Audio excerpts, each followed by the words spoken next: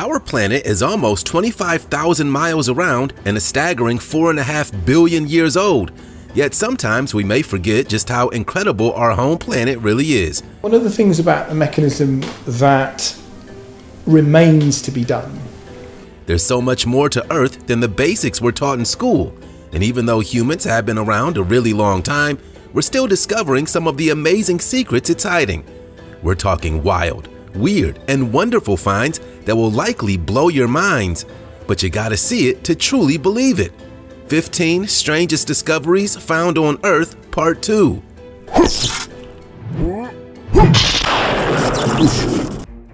Number 15 World's largest fish.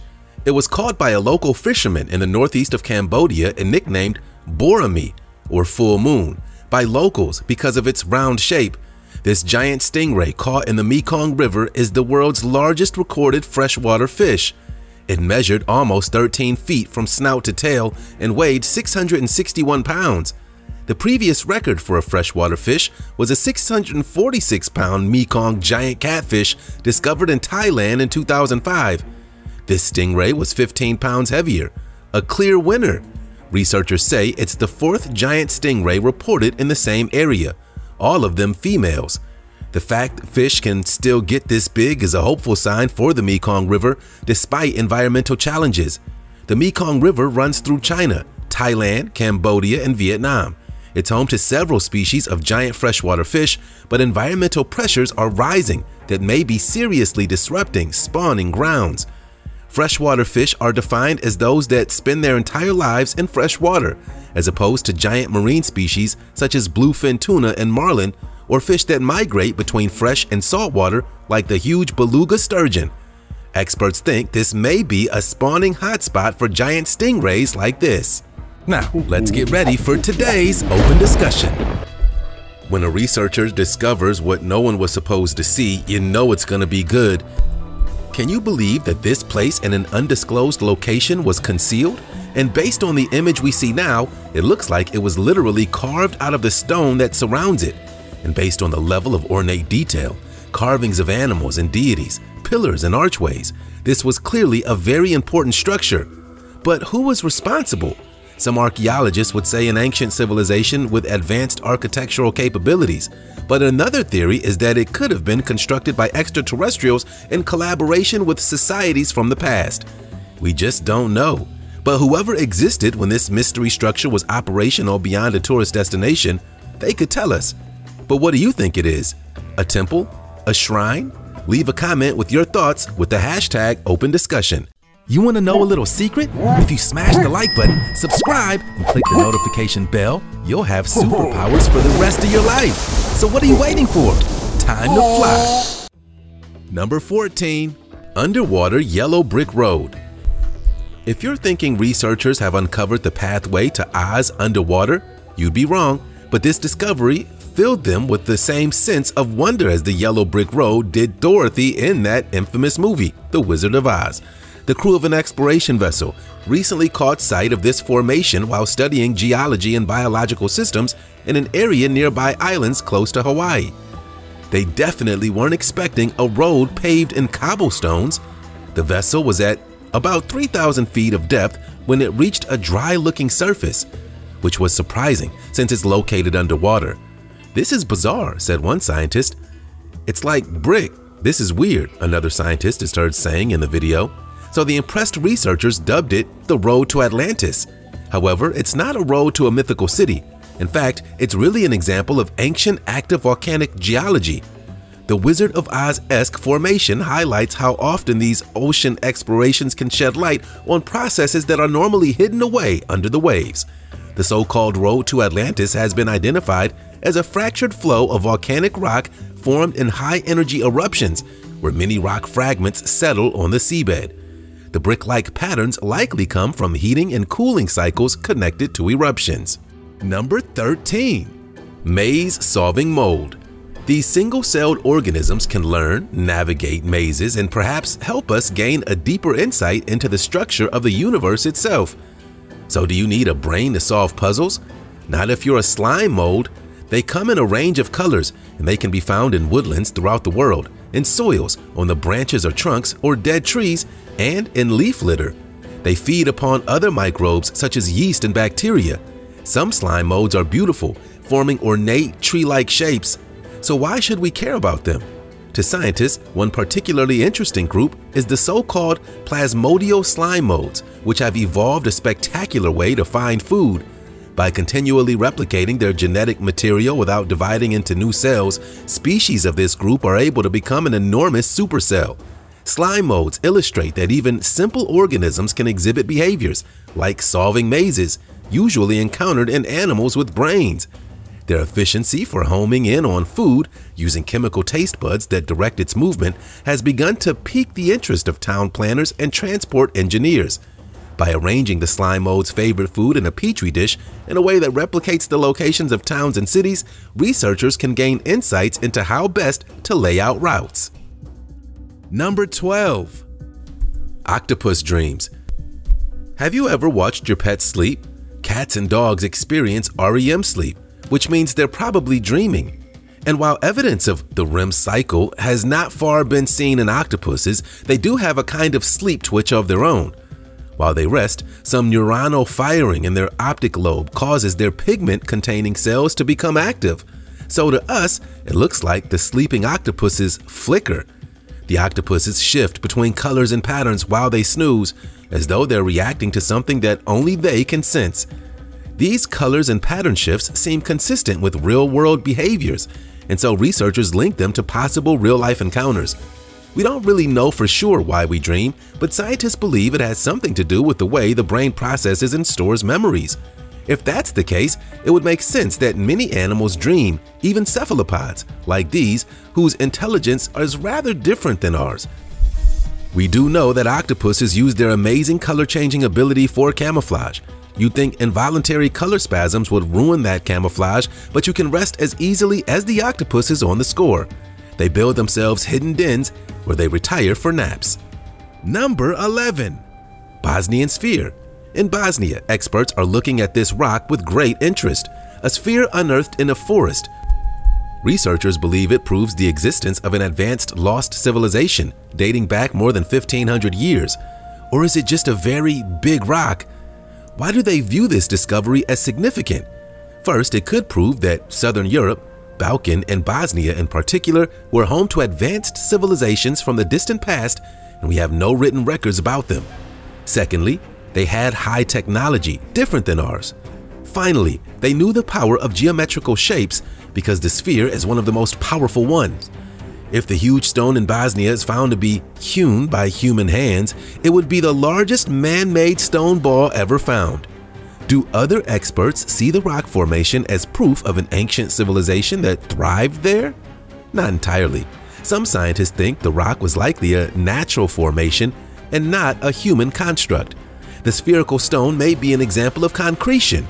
This is when a compact mass of rock is formed by the precipitation of natural mineral cement within the spaces between sediment grains. The grains are often spherical in shape. Other experts said the round shape of the rock could come from weathering. Number 10.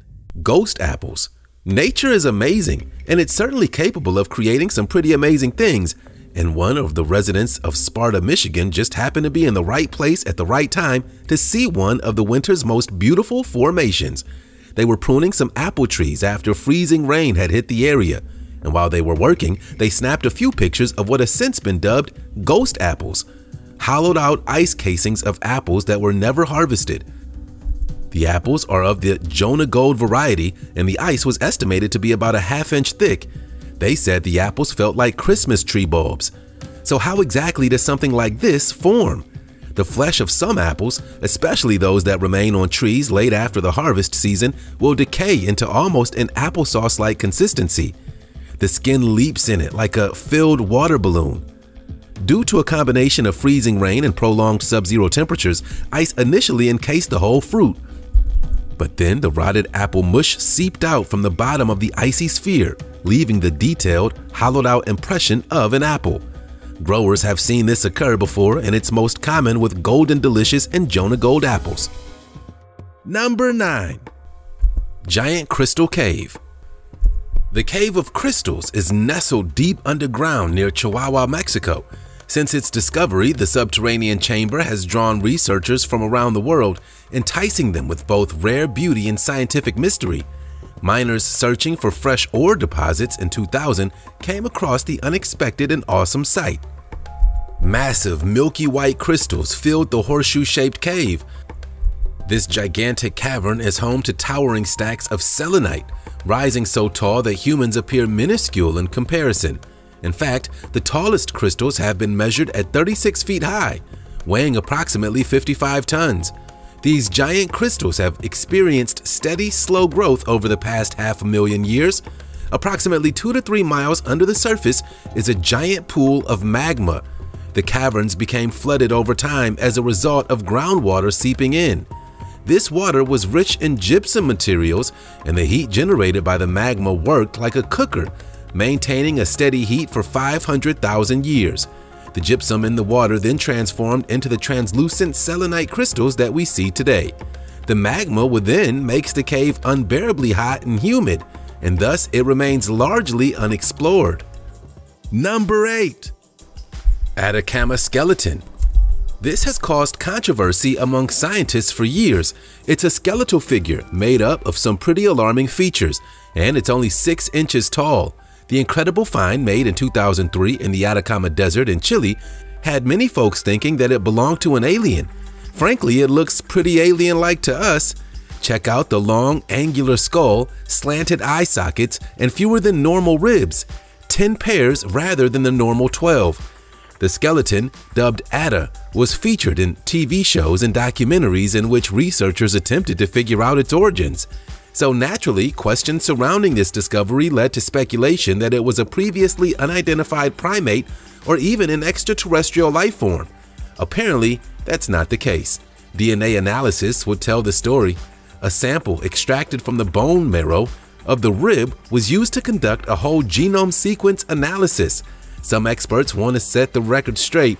Ata is human, albeit one with multiple bone disease associated mutations, although it's hard to believe.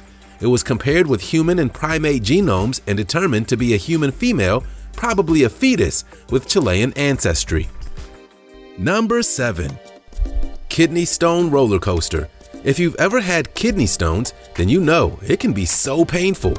They're hard deposits made of minerals and salts that form inside your kidneys, and they eventually have to leave the body. They can range in size, from a tiny grain of sand to, in extreme cases, the size of a golf ball. Patients with kidney stones don't always need treatment because the stones can pass out of the body on their own. That's where the pain comes in. The stones must travel from the kidney down to the bladder and then exit the body through the urethra. But good news, doctors may have found an unconventional way to get rid of painful kidney stones. But it'll cost you a trip to Disney World. Researchers found that riding the Big Thunder Mountain Railroad roller coaster there could help ease the passage. According to a new study, they noticed that several patients had reported passing kidney stones after going on the ride. So, in an experiment, the researchers placed three kidney stones in a model kidney and took to the ride. The preliminary study's findings support the anecdotal evidence that a ride on a moderately intense roller coaster could benefit some patients with small kidney stones. Number 6. Half plant, half animal. Plants engage in a process called photosynthesis. That's where plants convert carbon dioxide and nutrients from the soil using sunlight to get the energy they need. The outcome of this process is oxygen. Go plants! But did you know that creatures called emerald green sea slugs do it too? This small-sized sea slug is commonly found in Northern America in any body of water such as salt marshes, tidal marshes, pools, and shallow creeks, not deeper than a couple of feet, just like its name, it has a green color that resembles the color of the algae it feeds on. They also feed on algae to harvest the chloroplast from the plants. And the reason for them to harvest the chloroplast from algae is because they want the ability to photosynthesize themselves. Up until now, this is the only animal on Earth known to do such a thing. Since their discovery, scientists didn't know that this sea slug could do it. However, after 40 years of study and experiments, scientists finally found out that this sea slug actually can. By using its ability to create the nutrients by itself, this process of photosynthesizing allows the slug to survive for a very long time by merely depending on sunlight, water, and carbon dioxide. Number 5. Ancient Roman Fast Food Archaeologists studying the Roman city of Pompeii recently discovered something pretty unexpected, an ancient fast food restaurant. In fact, the newly discovered site is just one of 80 such restaurants that have been found in the ancient city. In the ancient Greco-Roman world, a thermopolium, from the Greek word meaning cook shop, or more literally, a place where something hot is sold, was a commercial establishment where it was possible to purchase ready-to-eat food. Typical dishes served here would have included salty fish, baked cheese, lentils, and spicy wine. The excavations uncovered duck, pig, goat, and fish bones, as well as snail shells amid shards of pottery, suggesting that some kind of meat and seafood stew may have been on the menu. This fast food joint was a fixture of Pompeii way, way, way back in the day. Items on the ancient menu would have been displayed in large jars set in holes carved in the stone counter. But how is this fast food restaurant so well preserved? The answer is a massive volcanic eruption. The city's sudden destruction with the eruption of Mount Vesuvius in the year 79 AD instantly covered food and cookware, leaving a record of its own citizens' day-to-day life frozen in time. Number 4. First computer on Earth in the genius and mystery of this piece of ancient Greek technology, arguably the world's first computer, you see evidence of at least two dozen gears laid neatly on top of one another, calibrated with the precision of a master-crafted Swiss watch. Archaeologists dubbed the instrument the Antikythera mechanism. More than a century ago, an archaeologist was sifting through objects found in the wreck of a 2,000-year-old vessel off a Greek island and found the most peculiar thing a series of brass gears and dials mounted in a case the size of a clock.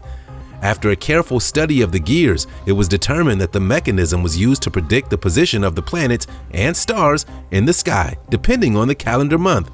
It was a computer in a sense that you as a user could input a few simple variables and it would yield a flurry of complicated mathematical calculations.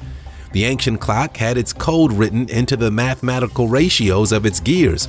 All the user had to do was enter the main date on one gear and through a series of subsequent gear turns, the mechanism could calculate things like the angle of the sun crossing the sky. This is amazing considering mechanical calculators, which used gear ratios to add and subtract, didn't arrive in Europe until the 1600s. Number 3. Horned Helmets Henry VIII was a king of England from 1509 until his death in 1547 and this amazing horned helmet belonged to him. It was one of the most iconic pieces of armor ever. It formed part of a magnificent armor commissioned in 1511 by a Holy Roman Emperor as a gift for the young king. Originally, the helmet had a silver gilt panels placed over rich velvet cloth. The glasses were added because Henry VIII was actually nearsighted. The decoration on the over-the-top mask is etched with lifelike facial details. If you look closely, you can see the stubble on the chin and crow's feet around the eyes. There's also a pronounced drip beneath the nose. A pair of ram's horns, beautifully modeled in sheet iron, complete this extraordinary piece. The horn helmet is technically called an armet, with protection for the skull, hinged cheek pieces, and a face defense, developed in the 15th century. It was distinguished by being the first helmet of its era to completely enclose the head while being compact and light enough to move with the wearer. It was also made for use in pageants rather than for combat.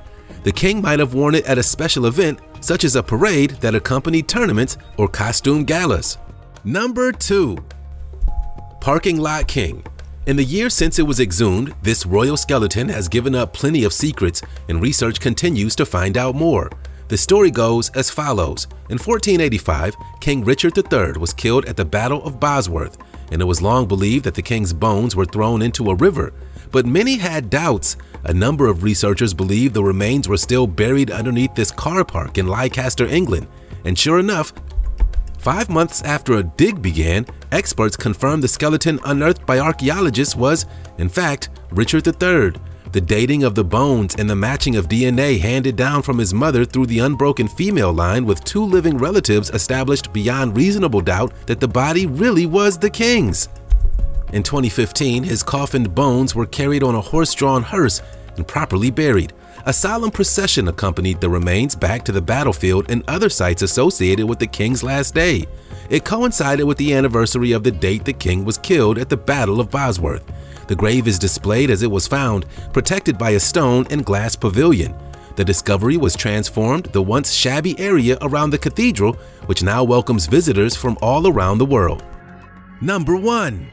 Laser Rock The puzzling Al Nasla rock formation sits in Saudi Arabia's arid Tayma oasis. Usually, when you see something like this, there's a logical explanation. The rock is sliced so precisely that it looks like it was cut with a laser, and because of that, it's become a hot topic of debate on the internet and amongst archaeologists too.